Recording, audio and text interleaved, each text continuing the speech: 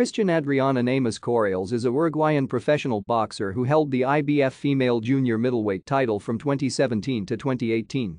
She also challenged for the WBC interim female light welterweight title in 2009, the WBO female light welterweight title twice in 2011 and 2012, and the undisputed female welterweight title in 2016. As of September 2020, she is ranked as the world's fifth best active female junior middleweight by the Ring and BoxRec. Namús made her professional debut on 18 May 2007, scoring a four-round unanimous decision victory against Maria Eugenia Lopez at the Palacio Peñarol in Montevideo, Uruguay. After compiling a record of 9-0 she faced Lely Luz Flórez for the WBC interim female light welterweight title on 8 August 2009 at the Palacio Peñarol. Namús suffered her first professional defeat, losing via first-round technical knockout.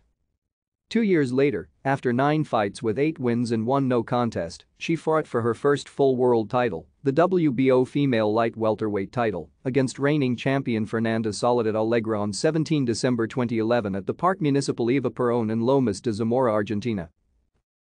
Thank you for watching. Like and subscribe if you would like to view more of our videos.